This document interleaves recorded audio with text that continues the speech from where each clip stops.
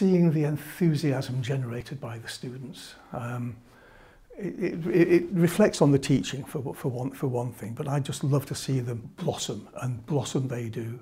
I work in very much in a pastoral role, trying to encourage them, bringing them on.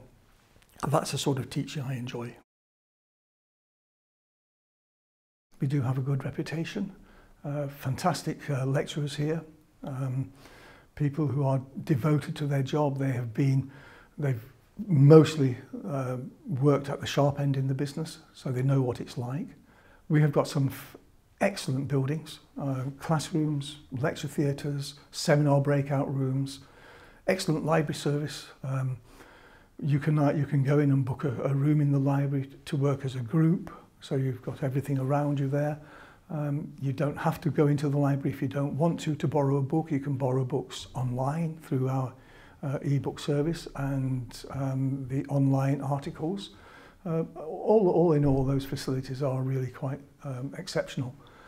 Then in, uh, we are an applied university, so uh, we've spent, uh, invested three and a half million on some fantastic um, kitchen laboratory facilities on the 12th floor of the Owen building.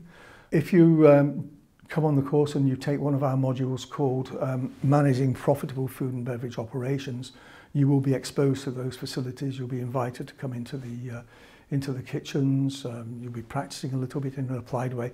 You'll be studying. You'll be learning a, a, about food and beverage service.